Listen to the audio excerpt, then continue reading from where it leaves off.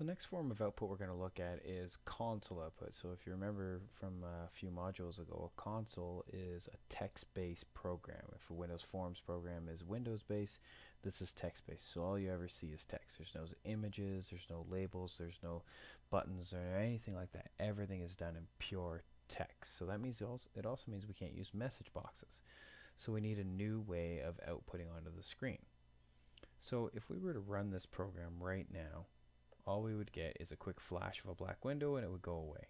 That black window is called our console and it's where all the text is going to show up. If we want that window to stay there for a minute and wait for user input or wait for us to hit enter to finish off the program, we can use a simple command called console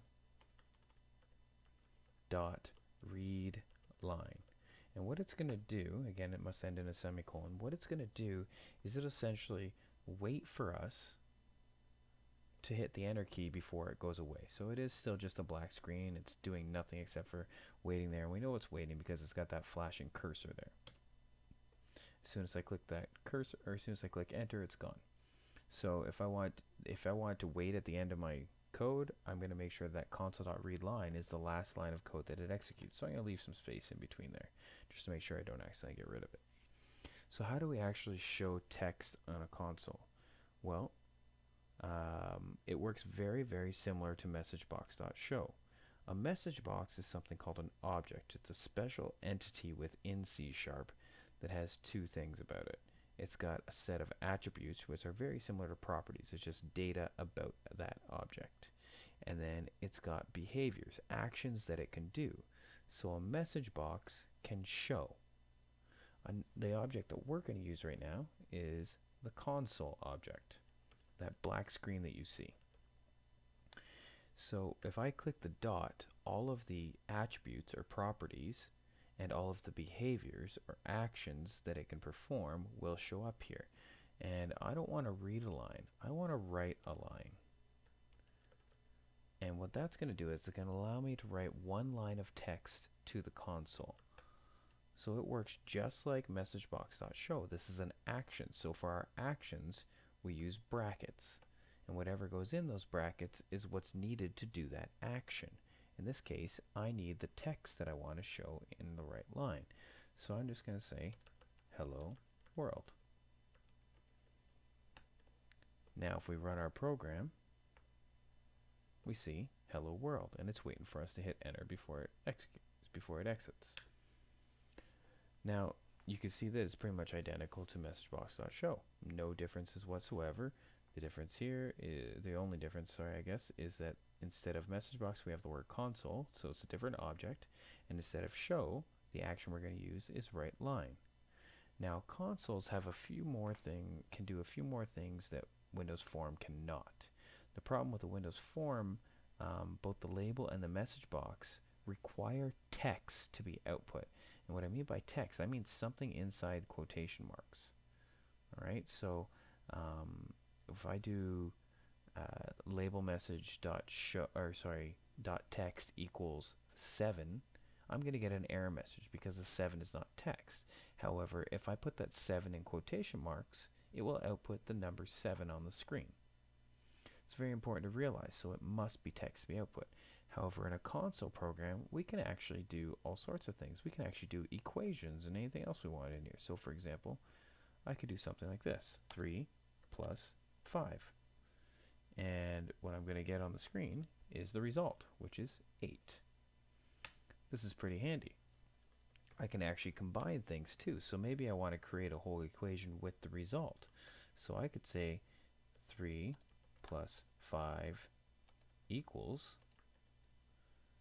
and then I can essentially add to that. Now I got to be careful with the way my brackets are set up because it needs to understand what needs to be done together and what is separate. So the plus sign has a double meaning here. When the plus sign is surrounded by two numbers, it's actually going to do the math.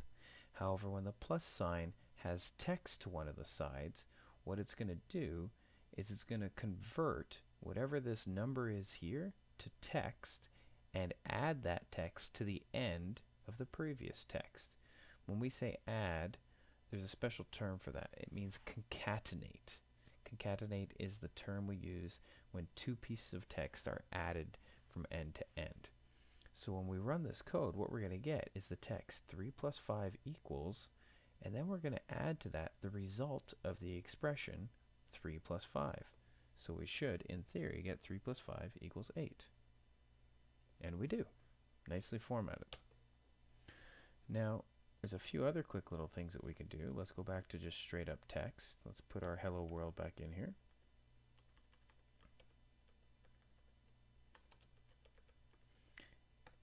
And what we can do is there's a few special characters we can use. These characters are called escape characters.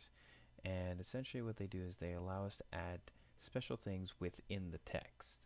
So for example, instead of putting a space there, I could put a slash T.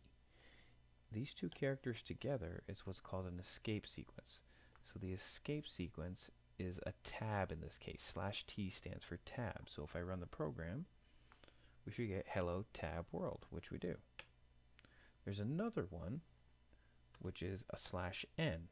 So if we run this, n stands for new line. So it will hello, take the cursor down to the new line, output world.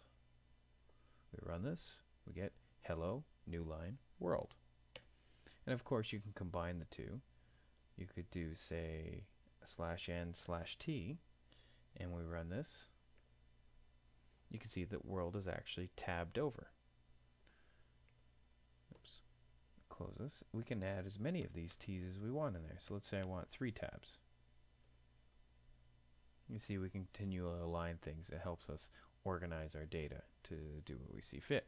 We could also add, of course, more lines in here as well. So we could add another new line. So you can see there's another gap in between here. Okay. So that is uh, console output.